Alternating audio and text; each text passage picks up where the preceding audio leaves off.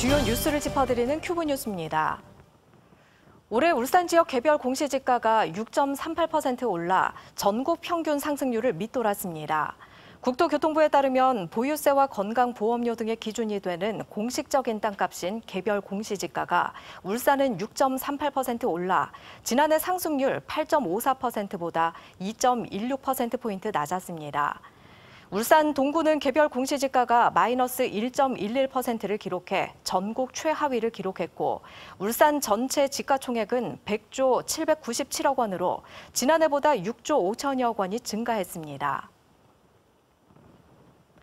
울산시는 신사모교 일대에서 태화강 백리대숲 조성 시범 식재 행사를 열었습니다.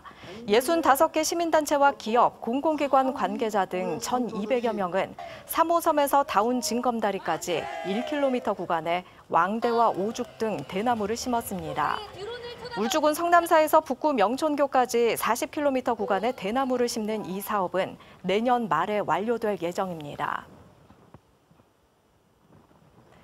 울주군 CCTV 통합관제센터가 쓰레기 불법 투기와 뺑소니 차량 적발에 이어 음주운전 차량도 잡아냈습니다.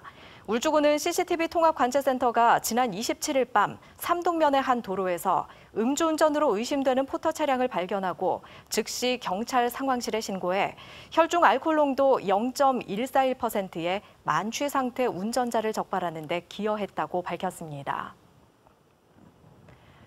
올 시즌 8경기 연속 무패를 기록하며 K3 리그 돌풍을 이어나가고 있는 신생팀 울산 시민축구단이 울산 농협 명예 홍보대사에 위촉됐습니다.